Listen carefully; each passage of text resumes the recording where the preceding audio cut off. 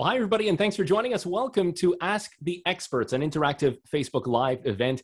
Uh, tonight, we're talking about COVID 19 vaccination and, and how things might look for the next few weeks and months. Everything from first and second doses to a mixing and matching, uh, masks, vaccines for teens, summer activities, and really a whole lot more. I'm Shaun McMahon, host of the Your Health podcast, which you can uh, subscribe to and stream anytime over on our website at ciussswestcentral.ca slash podcast and on all your favorite podcast platforms. Google, Apple, iHeart, Spotify, SoundCloud. It is everywhere. If you haven't uh, subscribed yet, uh, what are you waiting for? You do that today. Always lots of great stuff. My guest tonight, absolutely love uh, chatting with this guy, uh, attending physician in the uh, Division of Infectious Diseases and Medical Microbiologist at the Jewish General Hospital. Dr. Matthew Oughton is with us. Dr. Matt, how are you?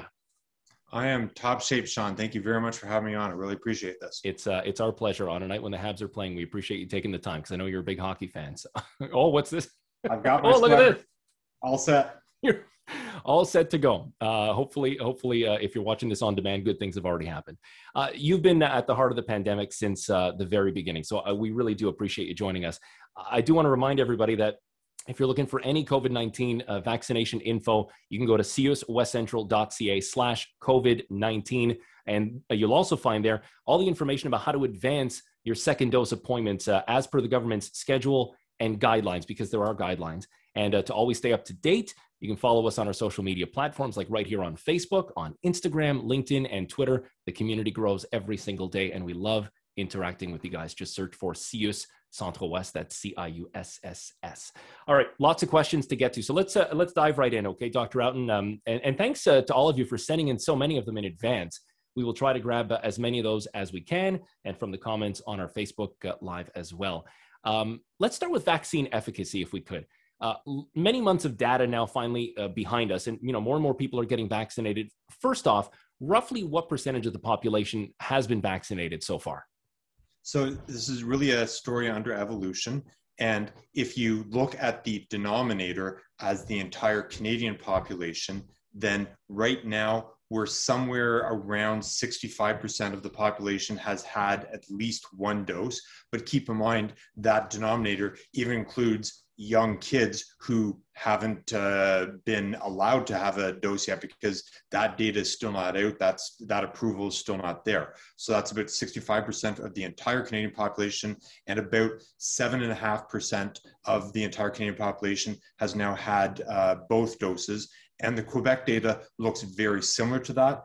On the other hand, to uh, look at it slightly differently, if you take as the denominator all of the people who could conceivably get vaccinated, just in the last day or so, we've hit a fairly important milestone that overall across Canada, we're around 75% of the entire population, which is, we're not all the way there because that's only one dose, and one dose is very different than uh, two doses, but it's looking very good for us as long as we continue this pace that uh, throughout the summer we're going to be in a really really good uh, place by the end of the summer that's great. It's nice to hear, you know, after everything that everybody's lived through to get some encouraging news is uh, is really terrific.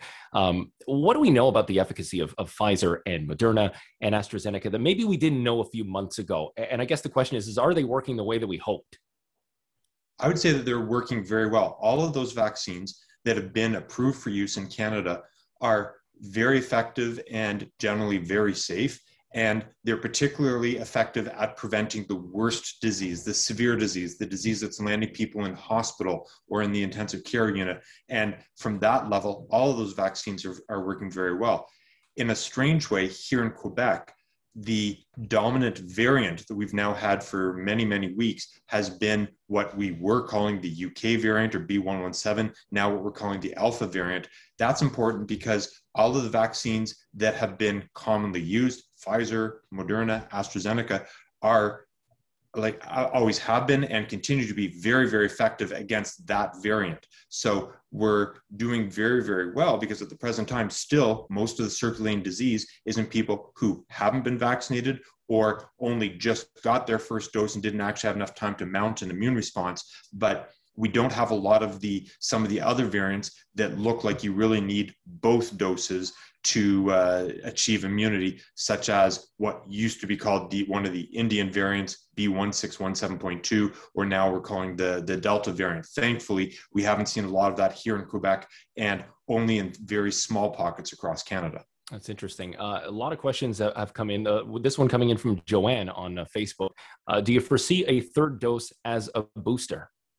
That's an excellent question. That has been postulated by some vaccine researchers. That has also been postulated by the vaccine manufacturers. Uh, however, I would say at the present time, what it's looking like is that uh, certainly two doses of either of the popular mRNA vaccines and within the next month, we're going to know about the mixing and matching, specifically uh, uh, a, the first dose, the prime dose of AstraZeneca, followed by the second dose or boost of one of the mRNA vaccines. That combination uh, we'll know for sure when this uh, when a few studies report in the next few weeks. But it looks like that combination will also be very highly effective, give very long-lasting immunity, and what I would call very broad immunity that's effective against uh, most, if not all, of the circulating variants. So if those trends continue, if though if that kind of immunity really is high level, long lasting, and sustained across a broad range of variants, we may not need uh, a third booster. It's still early to tell. We've seen variants already catch us by surprise, sometimes with their transmissibility or their ability to escape the immunity generated by remote infection or by only partial vaccination. So I'd say that anything is still on the table, but at the present time, 100% getting both doses is important. Don't stop after just one. And uh, if you get both doses, I think you'll be positioned very well, both for yourself and those around you, your family at home, your uh, coworkers uh, at work, you'll be protected against both exposed uh, exposure from them and exposing them because these vaccines not only protect yourself, they protect those around you because they clearly also reduce transmission, which is absolutely huge for getting this pandemic under control. You mentioned uh, the, the, buzz term, uh, mix and match, uh, briefly there. I just want to come back to that, maybe unpack it a little bit, uh, because that's one of the questions that we've received. You know, is it okay to mix and match different types of the vaccine? So, in other words, I got AstraZeneca for my first vaccine. Can I get Moderna or Pfizer for my second one? Is that safe? Is it recommended? Is it safe? So, at the present instant here in Canada, NACI has said that if you got your first dose of AstraZeneca, then for your second dose, you basically have the choice yourself of getting the second dose of AstraZeneca or getting a second dose of one of the mRNA vaccines. By contrast, if you got your first dose of one of the mRNA vaccines, then generally you should get the, that same vaccine as the second dose, or in the case of a shortage, for example, this week, as it turns out, we're getting only Pfizer uh, and AstraZeneca. We're not getting any uh, uh, doses of Moderna shipped to Canada this week, although we're getting a lot of them uh, arriving a week from now. But we have we've had these sort of on and off intermittent shortages. So in the case of a shortage, when you go to get your second dose, if you have to switch mRNA from Pfizer to Moderna or vice versa, that uh, also has NACI's blessing. The big question though is uh, when it comes to mixing and matching, is there any harm and is there any benefit? So, right now, there's absolutely nothing to suggest that there's any major long lasting harm. Okay. There's been two studies that have partially reported. Now, I say partially because one study, it's uh, called the COMCOV and COMCOV2 trial coming to the United Kingdom. They've reported their data on what they call reactogenicity, the side effects that have been generated. Generally speaking, the short term, you know, uh, injection site tenderness, uh, fatigue, headache, maybe fever that lasts one or two days. And their study found that when you mix and match, you actually get a higher level of these local, oh, limited, not serious effects. By contrast, a Spanish group doing a very similar trial called CombiVacS, they looked at exactly the same question and came to a different answer in their study participants that they didn't see a higher rate of mixing and matching compared to just sticking with the same thing. So we have a bit, uh, this is not the first time this has happened in science. I think uh, we're going to see more studies coming out and we'll get a clearer picture. I would say that the higher rate, if that is a real thing, of, uh, si- of local side effects, it's not a serious thing. And it might even be a hint of what we've also been seeing both in animal data and again in limited um, uh, human data, especially preprint sort of uh, data that hasn't yet been fully vetted and uh, reviewed. But we're seeing lots of evidence that you actually get a boost in terms of a stronger immune response, higher titers of neutralizing antibodies, higher amounts of the uh, uh, T cells that recognize the spike protein, which are all important both when it comes to protecting you as well as generating that uh, immunologic memory. So there's a lot of hints that you might actually get a boost and have stronger responses, but the really definitive data is supposed to be reported sometime later on this month. So really looking forward to that. That's very interesting. Uh, I want to say hi to Anna with a question on our Facebook stream. Uh, um, and actually, we've had this question in various forms, but it's all basically the same question. She wants to know if we've uh, been COVID positive in the past, should we get a second dose of the vaccine? Oh, that's an awesome question. So, from the point of view of immunology, there's a lot of data to show that people who had COVID recovered and then got one dose, at least the data that I know of, shows that one dose of either of the mRNA vaccines, Pfizer or Moderna, uh, that you seem to mount really good immunity. And one, just I'll do a slight deep dive. One trial that was really interesting looked at uh, neutralizing antibodies against different variants. Okay, and what they found was that people who had recovered but not been vaccinated, they had neutralizing antibodies against whatever it was that they had been infected with and recovered from, but not so much against some of the different variants out there. But the moment you got one dose of the mRNA vaccines, all of a sudden you had a much broader repertoire of uh, antibodies that actually then could uh, recognize and bind to and uh, neutralize the variants even though you never actually had come across it. That's sort of the the advantage of the of the vaccination. The one thing i will caution you about and i've been surprised that we haven't seen more of this discussed at governmental levels is that although immunologically it makes sense that probably one dose will be sufficient to protect you and give you long lasting and broad immunity, when it comes to being classified as fully vaccinated, either here in Quebec or across Canada or even in other countries, I haven't seen people like that recognized. It's always about once you have two vaccinations, here's your QR code, here's your certificate if you need to do international travel. I would imagine that at some point there will be an assay, probably a blood test or a combination of antibodies plus T cell uh, specific to the spike protein. And we do that blood test, and if you're positive, then that will be the surrogate proof that you are effectively immune. But until we have that kind of tool, you can see the problem here is that you might be immune, but you don't have the proof of that immunity. So, for example, if your travel to another province, or another country requires that proof, you got to get that second dose. And it's not harmful to you if you do is because that's one of the questions that we had. Somebody's son had covid in january got the vaccine in april told you know you don't need to get the second vaccine but then another healthcare professional uh, tells this this person uh, but if you want to show proof of a second vaccine for something like travel as you're saying mm-hmm you would need that second vaccine. So is it harmful to his health or would it's, the side effects be any worse was the question. It's, it's, not going to be harmful in terms of a higher risk of major side effects, but I would imagine it's very likely that you would have a higher chance of local side effects. Again, the tenderness, the soreness, maybe headache, fatigue, uh, you know, sort of uh, fever or malaise for a day or so, but those still should be temporary. If you're feeling really bad, you can always take some acetaminophen or ibuprofen to uh, get over the worst of it, and those will not be long lasting. So it's a it's an inconvenience, but it's nothing more than that. Uh, time is running away from us really, really quickly. So let's get to a few more things, and I want to talk about kids and teens because teenagers across the city, you know, as you know, are in the process of getting vaccinated. Now available 12 plus with the Pfizer vaccine. Is it safe for teens to get the COVID vaccine? And I want to take that just a little bit further. What would sure. you say to a parent who's maybe watching right now, maybe feels comfortable getting vaccinated themselves, but they're unsure about their teenager getting it? Are there any differences that really need to be considered between adults and teens when it comes to COVID vaccination? So it's uh, it's been established to be both effective and safe for teenagers. Right now, we uh, have the ability to give uh, Pfizer to uh, uh, children ages 12 and above, and uh, that approval has just been submitted for Moderna. And I expect that that approval will also be granted sometime in the next few weeks to come.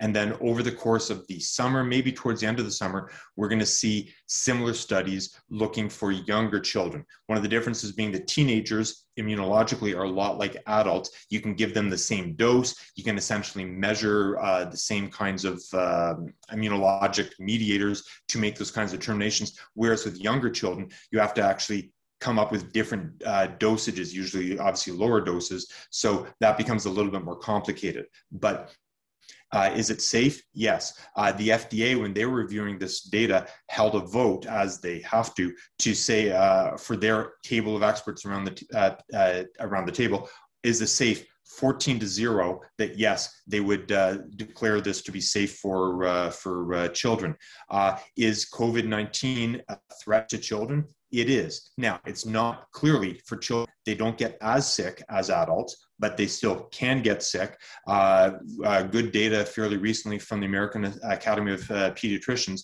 showed that children have about a 0.8% chance of being hospitalized uh, from COVID 19. That sounds lo- low, right? That, that's less than 1%, but that still actually puts it anywhere from two to five times higher than the risk of them being hospitalized for influenza. Okay. Wow. And that's, I'm not talking about over this last year where there was no influenza. I'm talking about during a year where there was bad influenza, even 2009 with the pandemic influenza then. COVID 19 wins hands down. So do what you can to protect your kids, educate them, get them that first dose when they're eligible to, get them their second dose. I think that's going to position them really well to have a much more stable school experience uh, come the start of uh, school year, uh, you know, September 2021. And before moving on, I mean, a lot of similar questions coming in on Facebook from Allison, a similar one from Paula, uh, sorry, not from, from Nancy, rather about the kids under 12. And you've, you've touched on that just now, but, and not to simplify it, but really it just sounds like it is a wait and see approach for the under 12 crowd at the moment. Yes. I mean, the data we've seen from every other age bracket right now makes me expect that we're going to see similar efficacy and safety data, uh, safety data in that younger uh, group. The thing is, by the time that th- those trials are done and evaluated and reported, there certainly won't be enough time to get a two dose series done before the start of the school year but depending when they report, there may be at least time to start and get that first uh, uh, vaccination. And both for the protection of the children, don't forget that there's there can be some very serious complications. There's a, a syndrome called MIS-C, a multisystemic inflammatory syndrome, kind of like Kawasaki's disease that happens in kids. And although it's relatively rare, it's devastating, can lead to very high rate of need for hospitalization, uh, a high rate of uh, severe illness and death from this. And you need to get this vaccine in order to be protected against that. And I think to me, it's a uh, it's not even a question. I want to see the data before uh, that gets officially approved, but I would be very surprised if there's anything less than full both safety and efficacy data for that uh, age group as well. Let me uh, give you a few rapid fire questions before we close out. Life after the vaccine, right? I mean, we're all just looking forward to getting our lives back, some normalcy, seeing family and friends, and enjoying summer because we love summer in Montreal. There's nothing like it as much as possible. Uh, questions about life over the next few weeks and months. Uh, number one, quickly, do I still need to wear a mask after being fully vaccinated? You get two doses. Is that still going to be a thing? So let's travel back in time about 15 minutes when I said about the across Canada, seven and a half percent or so of the population that doubly vaccinated. That means 92 and a half percent have not yet been doubly vaccinated. So I would still recommend that for the protection of others, right? You have to assume that most of the people out there have not been vaccinated. So at the moment, yes, I would still be masking uh, to uh, at least protect those who haven't uh, had the opportunity of being fully vaccinated yet.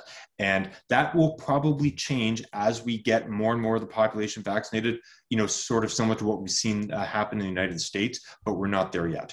When can we start hugging our parents and our grandparents again? Uh, this is one Boy, that I've asked myself. It's, it's, yeah, it's been tough.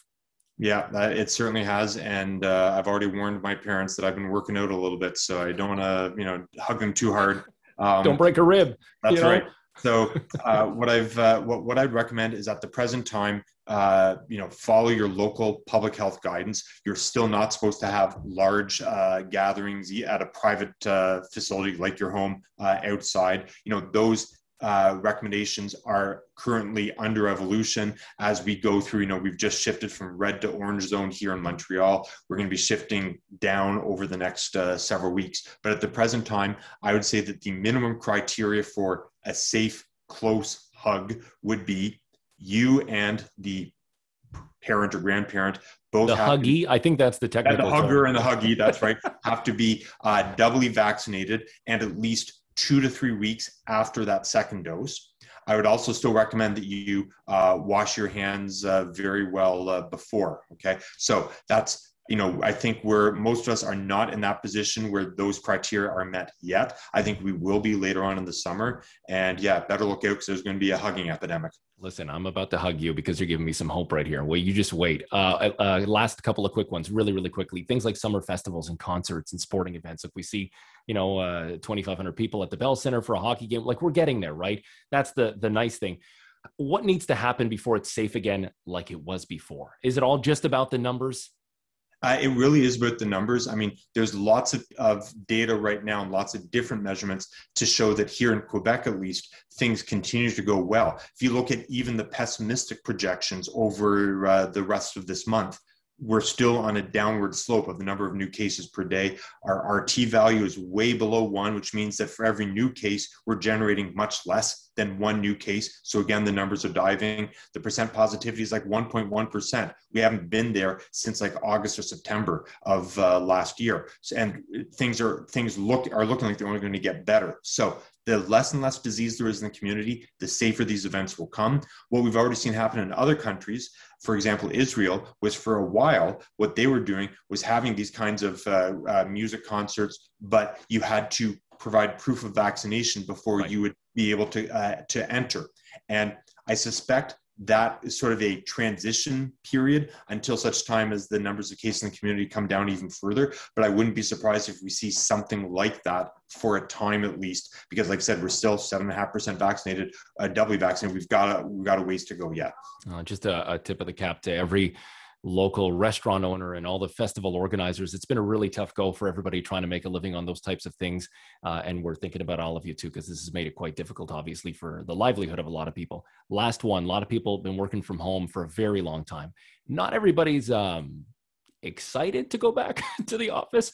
Uh, it's going to be a big adjustment and, and, with new habits to get accustomed to. What does the office look like in like September 2021, according to Dr. Matthew Out? Yeah it's going to be different than pre-pandemic. I think we're going to have sort of two groups of workers. We're going to have the commuters and the computers. We're going to have the people who are going back to office and doing it in person. And obviously, there's some jobs where that's really important and uh, makes the job a lot easier. We're going to have other people who will probably continue to do this, uh, you know, teleworking, telecommuting, call it what you will. And I think it's obviously going to take some adaptation. Look, we've done the same thing in medicine, right? A few years ago, I would never have uh, evaluated patients by telephone or by a Zoom call, but now that's become an accepted way of things, especially at times where there was a lot of disease in the community. And I have so many patients who are old and limited mobility, and they honestly, I felt bad in the old days, having to bring them in where they have to park in the middle of January, walk right. three blocks, risk falling on a slippery sidewalk and everything else. And now they can do it from the comfort of their home. So we're going to have some hybrid model, I think, and this is going to apply not just to healthcare, but I think to all sorts of different uh, businesses. But I, I, I'm really looking forward to having some of the old ways back I mean, day like today, 32 degrees. This is terrace weather. This is the weather you want to be out there cheering on the Habs with a nice cold glass of your favorite beverage on a patio somewhere. And I really want us to get there and stay there. Uh, well, I will let you uh, get to your uh, your favorite uh, beverage uh, and uh, and maybe watch whatever's left of the of the Canadiens game. if you're watching this live, we appreciate you being there on Facebook. If you're watching this on demand, uh, we appreciate that too. And, and feel free to share, of course. Uh, that is, uh, we kept it longer than we anticipated, uh, but we really appreciate the time that you've given us tonight. It's all the time we have for this Facebook Live event. Uh, thanks again to Dr. Matthew Oughton, attending physician in the Division of Infectious Diseases and medical microbiologist at the JGH, and to all of you for tuning in uh, and being part of this discussion. Dr. Oughton, much appreciated. Thanks for this, and, and thanks for everything you've been doing, everybody at. Um, at the CIUSSS uh, in so many different ways. Uh, just rowing in the same direction, trying to get us out of this. So we, appreciate the time. Thanks again. All right. Thank you very much, Shaun. Have a good one. You too. And on that note, a reminder uh, that walk-in vaccination continues at sites across our territory for uh, Pfizer. Bill Durnan Arena this week has extended hours as of June 10th. Also available at the Carey Square. We're talking first doses and uh, just added walk-in appointments available tomorrow and Wednesday at the MIL campus of Université de Montréal in Outremont. Lots of different options and places to get vaccinated to go roll up your arm and, and really help put an end to this thing. Uh, for details and any info on vaccination, you can go to our, our website, ciussswestcentral.ca slash COVID-19 or right here on our Facebook page. Dr. Matthew Oughton, have a great evening. Thanks all. Stay safe and we'll talk to you real soon. Appreciate it. Thank you, Shaun. Stay well. Okay.